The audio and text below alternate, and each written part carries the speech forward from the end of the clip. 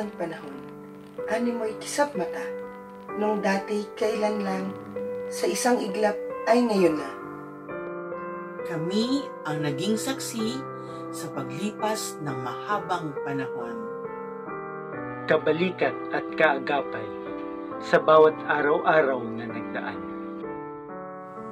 Akay ng ama't ina ng ikay unang nasilayan. Isang inosenteng musmos na puno ng galak ang mga mata mistulang sariling anak, ikay aming kinalinga.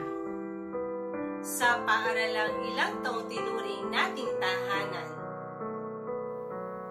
Laro, laro, walang kapagurang laro. Awit, indak, walang katapusang kwento. Panahong kinagigiliwan, hinding-hindi magtatapos. Likas na ligaya ng iyong kabataan, oo, nakita ko, naramdaman ko.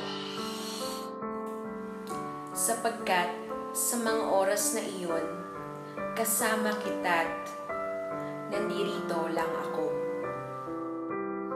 Ginabay sa paglaki, kalaman ay ibinahagi. Sa aming pawis sa pagturo, naturuan niyo rin kami. Nakakataba ng puso ang inyong pag-usbong, di lang ng kaisipan, pati na rin pakikipagkapwa at kabuang pagkatao. Parang isang inakay, kinupkop at inalagaan. Hinintay at sinanay ang mga bagwis na panlipad sa mundo ng buhay. Kung minsay napapaaga, minsay napapariwara. Ang taglay mong bagwis, sadya pang munti at hindi pa handa. Kami naging tagasaway, minsan kakampi, minsan kaaway. Ngunit maniniwala ka o hindi, dahil lamang kulang pa ang bangis ng aming inakay. Sidhi at pusok ng iyong kabataan, oo, nakita ko, naramdaman ko rin.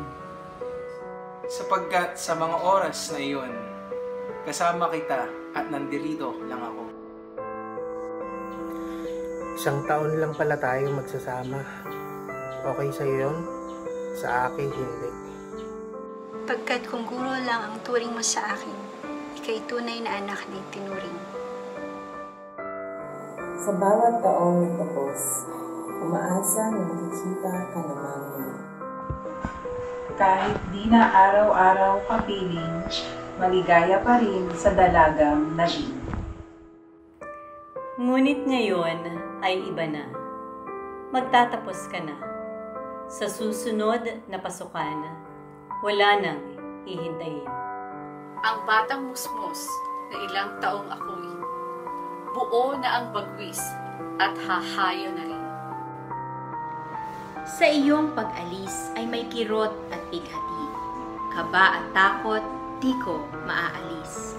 Ngunit humayo ka, sapagkat alam kong naihanda ka na.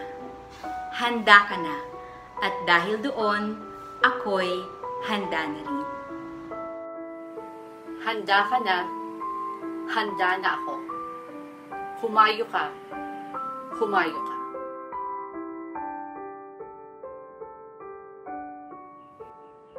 Kung saan ka man mapadpad, at kung saan ka man mapunta, Kung anuman ang iyong maging buhay, kung anuman ang iyong maging pagkatao, Kung ano man ang iyong kapalaran, kung sino man ang iyong kasama. Sa anumang pagkakataon at sa kahit anong oras, Huwag na huwag mong kalimutan, nandito lang kami.